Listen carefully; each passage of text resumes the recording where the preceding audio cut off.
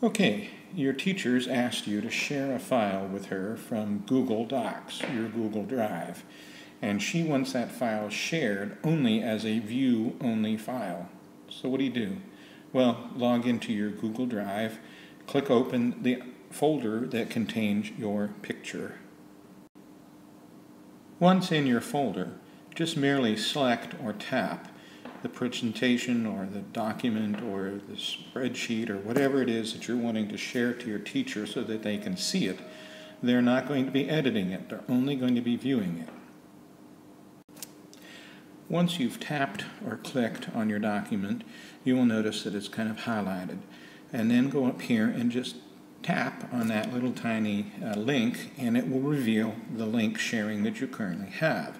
Right now it says anyone with this link can view. That's what you want, but in case it doesn't come up that way, you need to make sure you know how to edit it. Okay, here's a scenario. You click on that little tiny link, and it comes up saying anyone dot .lot student with this link can view. Great, if you want to share your picture or your document or your presentation with another student, this is not going to get to your teacher. You need to be able to change the link sharing options simply click on the Share settings. Next, click on the drop-down menu to reveal your options for changing your share settings.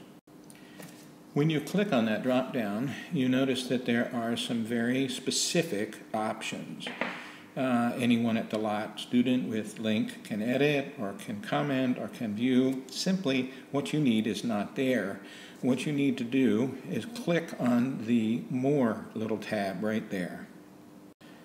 Once you click on the More, you can see a new link sharing menu with some more options. Uh, you can direct who you want it to go to and what you want them to be able to do with it. Uh, initially, as we're looking at this, we can see that indeed anyone with the DeLotte student in the area can view it. Anyone at DeLotte student with link can view it. Well, that's not what we want. Uh, we want it to go to the teacher. So that is anyone with the link, so you will select that. Also, we want them to be able to view, so you don't have to change anything here.